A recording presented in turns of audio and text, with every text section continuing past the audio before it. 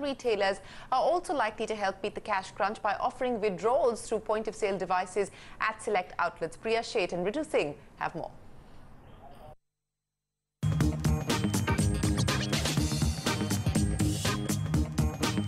Let's go try it out.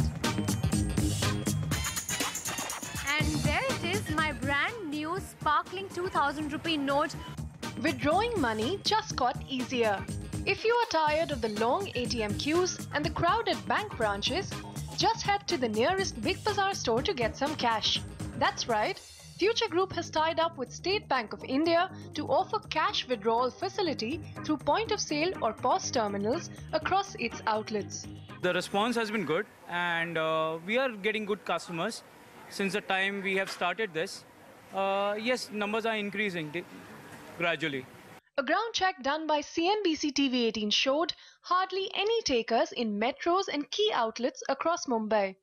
To be sure, today was only the first day of this facility.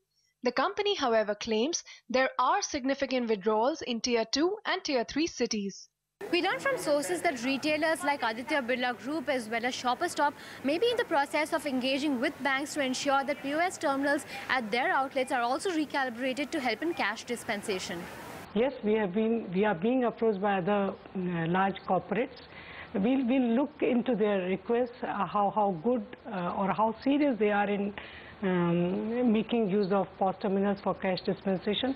As and when more retailers come on board, the opportunity to use large retail chains as mini ATMs could be significant.